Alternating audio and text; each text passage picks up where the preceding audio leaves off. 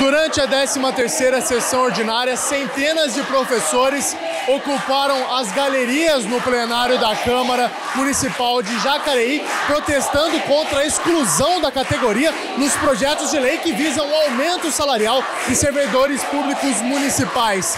Ainda estão presentes outros servidores de outros setores né, de atuação aqui na cidade que também protestam contra o aumento de 5%, valor este que está abaixo da inflação professores estão aqui para exigir um direito constitucional, que é do repasse de inflação, que é da campanha salarial geral, garantida no artigo 37, no inciso 10 da Constituição Federal.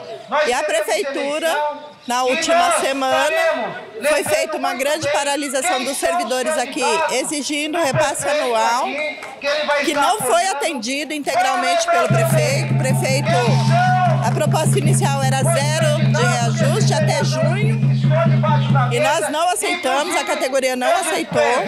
E fruto de muita luta, ele ofereceu 5%.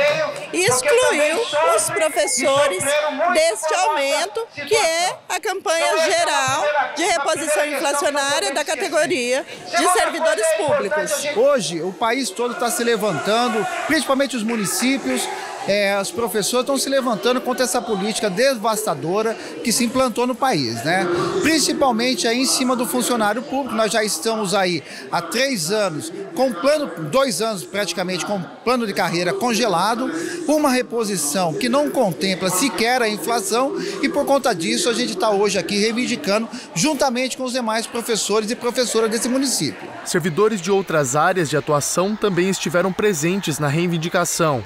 O interesse das categorias visava obter 15% de ajuste salarial e não apenas 5%, como foi determinado pela prefeitura. 5% ele não, como eu disse, né, ele não, não supre essa necessidade, né? Então, ainda para a gente, falta muito ainda. Até porque, é, só entrando nesse assunto, a cesta básica física, ela não vai existir durante esses dois meses que foi passado.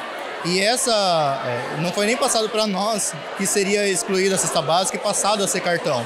Então esse 5% mal vai dar para comprar né, os alimentos que vinham na cesta básica. E os 250 reais para qual foi aumentado o VA também mal vai dar para a gente suprir essa necessidade.